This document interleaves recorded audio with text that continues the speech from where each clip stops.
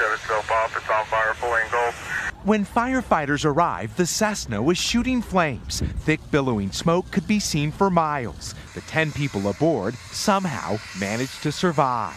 Oh my goodness. You heard the big boom, right? With the FAA and NTSB now investigating, the crash at the Oroville airport happened after the twin engine jet aborted takeoff, sliding off the runway into dry grass and catching fire. So when I arrived, the plane was on its belly and both both engines were still on.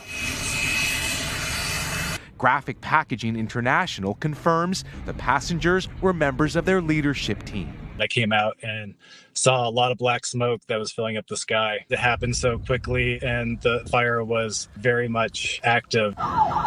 In a striking coincidence, another similar jet erupted into flames earlier this month at a small airport after a hard landing in Tennessee. Racing legend Dale Earnhardt and his family escaping uninjured, also walking away after this fiery crash.